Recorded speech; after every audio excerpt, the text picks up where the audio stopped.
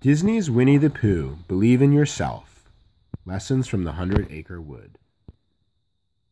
Winnie the Pooh, Believe in Yourself. It can be kind of scary trying something new. Just remember, you can do it. Just believe in you. Piglet hummed cheerfully as he finished sweeping his front step. He was rather enjoying himself, as he often did when he was busy tidying up his house. It was a comfortable sort of thing to do. Just then, a very excited Roo hopped into view. Hello, Piglet, Roo shouted. We're going on a picnic. Pooh is coming, and Tigger, and Rabbit, and Eeyore. Would you like to come too? Oh, yes, this is just the right sort of day for a picnic, Piglet exclaimed. Wait for me, Roo. I'll just get the haycorn cookies I baked this morning. We're going to the big meadow, Roo, Roo told Piglet as they set off to join the others. Mamma says there are flowers and butterflies and soft places to sit. It all sounded wonderful to Piglet. Here you are, buddy boys, Tigger cried when Piglet and Roo met up with their friends. And right across that stream is our perfect for a picnic meadow, Pooh said. Piglet looked at where Pooh was pointing. Then he looked at the stream. They had to cross over a log to get to the other side. Suddenly, Piglet wasn't feeling so happy anymore. Come on, everybody, Tigger called. Follow me. Tigger bounced across the log, chattering to Pooh. Pooh crossed, balancing a honey pot in each hand.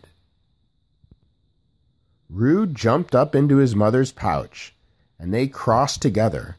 Eeyore ambled slowly across with a picnic basket in his mouth.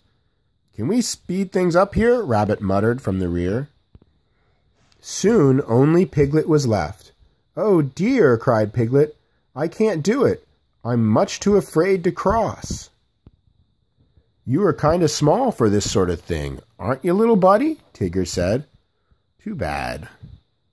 What are we waiting for? Rabbit asked. Let's get hopping. We can't go without Piglet, Pooh said. Piglet felt terrible.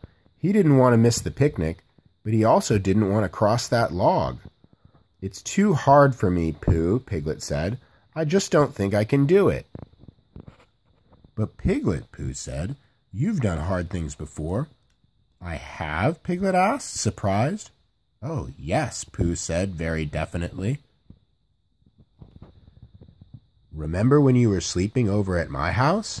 An owl came to tell us there were shooting stars outside? Pooh asked. I remember, Piglet said. It was very dark, and I was afraid to go out. You were afraid, but you went outside to look at the stars anyway, Pooh said. I did, didn't I? Piglet said, and it was wonderful. Piglet felt a little better. He stood up a little straighter. Thank you for reminding me of that, Pooh, he said. You're welcome, Piglet, Pooh said. Hey, and wasn't that you who saved Roo from the bees, Piglet? Tigger asked. That was splendiferous. Yes, yes, that was me, Piglet said. Aren't you scared of bees, Piglet? Rabbit asked. They sting, you know. Yes, I know, Piglet said, and I was scared, but Roo needed my help. You were very brave, dear, Kanga said gratefully. I was? Piglet asked. He was feeling better and better. I was brave once too, Roo said. Remember, Piglet? We were brave together. Piglet didn't remember. It was at the sack race at my birthday party, said Roo. Oh, yes, now I remember, Piglet replied. Everybody said we were too small to be in the race, and we were afraid they might be right. But we showed them, Roo shouted. We even won. We sure did, Piglet laughed. Piglet wondered how he could have forgotten. He had felt so proud that day. See, Piglet, Pooh said. You've done lots of things you didn't think you could do. Yeah, said Tigger. You're downright courageous. Piglet took a deep breath. He looked at the log. Then he looked at his friends. This is hard, but if I try, I think maybe I can do it, he said. Piglet stepped onto the log. He was still scared, but he crossed the log anyway, one careful step at a time. When Piglet had made it across the stream, his friends all cheered. We knew you could do it, Pooh said. And now I know I can do it too, Piglet said happily. I just had to remember to believe in myself. Believe in yourself, and you can do great things.